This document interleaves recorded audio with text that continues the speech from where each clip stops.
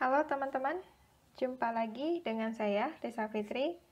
Saat ini kita akan mempelajari tentang cara membuat cover page, page color, dan watermark, serta border di Microsoft Word. Pertama-tama, untuk membuat cover page atau cover, yang biasa kita bilang cover, begitu ya, itu bisa dilakukan di klik dengan insert Nah, di sebelah sini di atas ada yang namanya cover page. Di sana sudah ada beberapa template yang bisa teman-teman pilih. Ini supaya lebih cepat saja begitu ya. Misalnya saya akan memilih yang ini. Nah, diklik. Kemudian tinggal diisi saja. Come.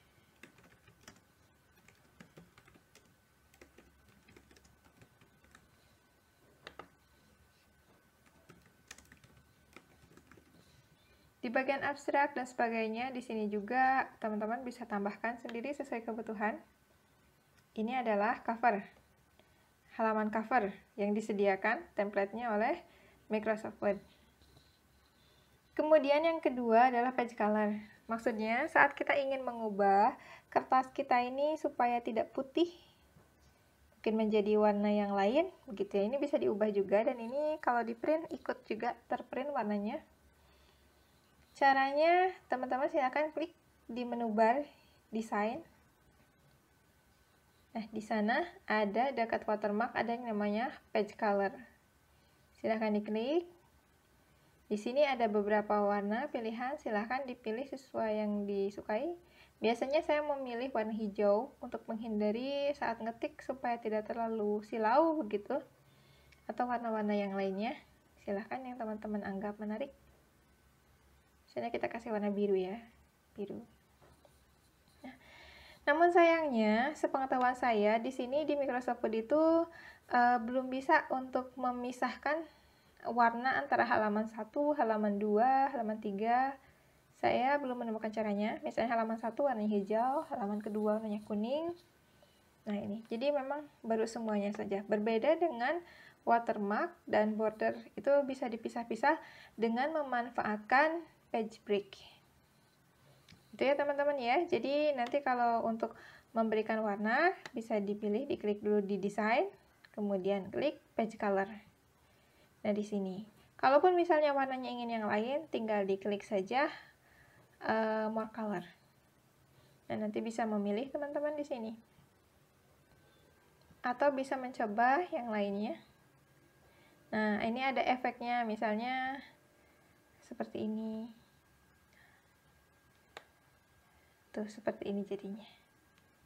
Ya, lucu juga ya terlihatnya. Oke teman-teman, itu untuk cara mengubah warna tampilan kertas di Microsoft Word kita. Yang selanjutnya kita akan mempelajari tentang pembuatan watermark.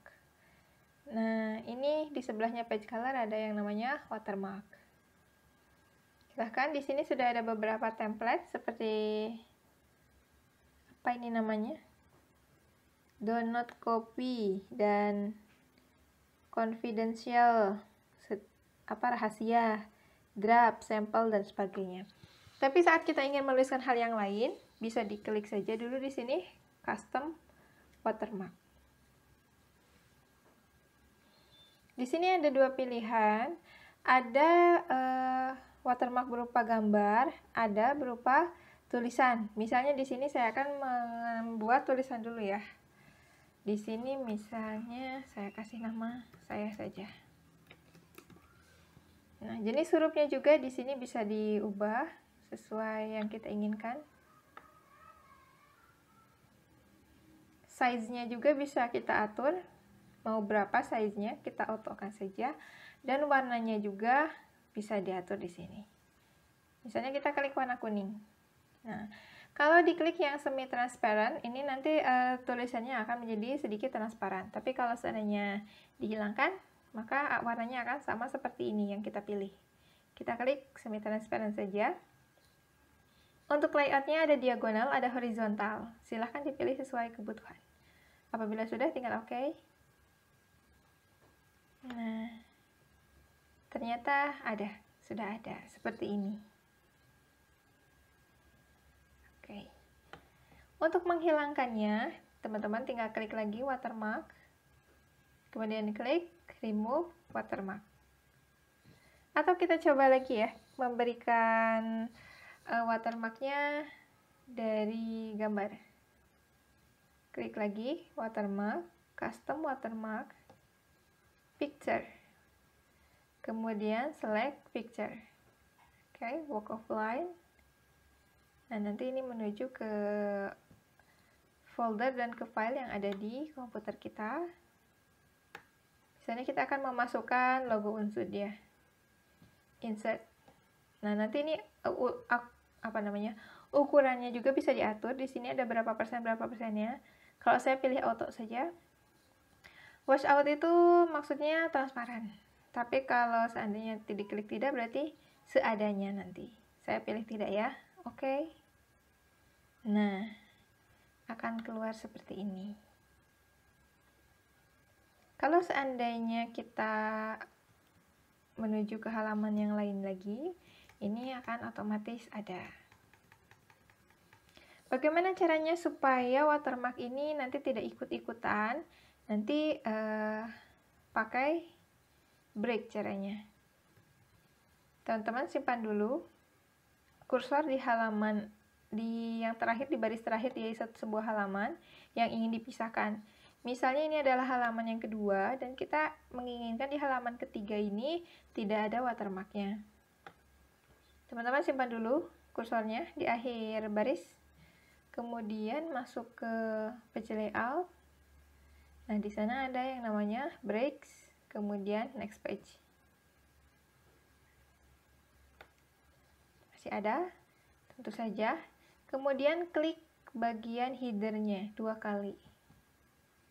Klik sampai dua kali. Nah nanti di atas ada yang namanya link to previous. Matikan. Ini kan masih biru artinya masih hidup. Matikan. Kemudian close. Dan oh maaf klik lagi headernya, kemudian buang logo yang ada di halaman ke 3 kemudian close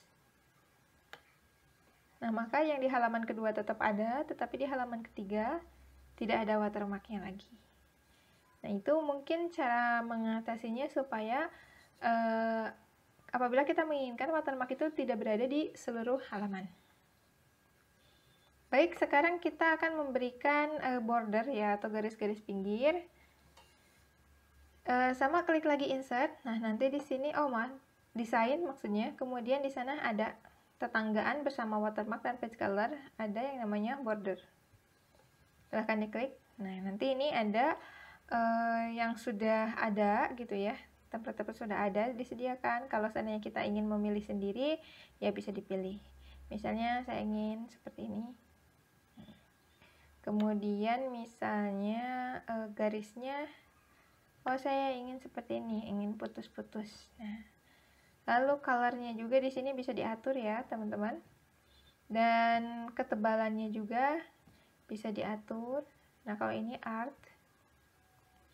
Nah apply to apakah misalnya ingin di seluruh dokumen? Tapi kita tadi kan kita sudah membagi ya membagi section-section halaman ini. Nah ini misalnya di section atau seluruh halaman atau first page only hanya untuk di halaman pertama saja. Nah nanti ini bisa diatur. Misalnya saya pilih di section saja. Dan oke. Okay. nah ada. Apakah halaman sebelumnya ada? tidak ada karena kita tadi tidak memilih uh, dokumen secara keseluruhan. Tetapi hanya section yang tadi saja yang sudah diubah dengan page break itu Nah, demikian mungkin teman-teman itu caranya memberikan watermark, kemudian uh, warna kertasnya kita, kemudian page border. Demikian, terima kasih.